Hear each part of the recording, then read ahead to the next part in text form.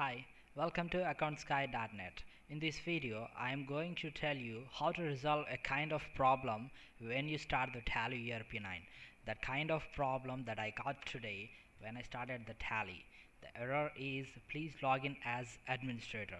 This kind of problem would occur in two ways. When you start the Tally ERP9 first time after you activating the license, otherwise the first time opening the Tally ERP9 after you have installed the fresh operating system.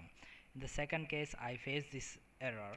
To do to solve this kind of error, you need to just right click on Tally application icon, click on Run as Administrator.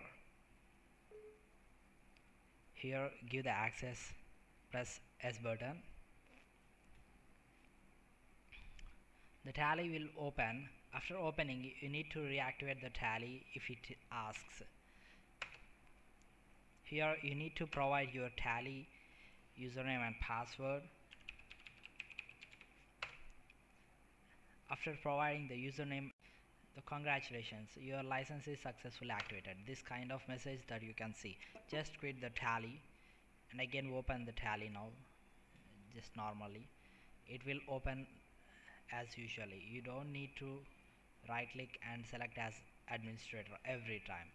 This is the way how to solve this kind of error. Thanks for watching this video.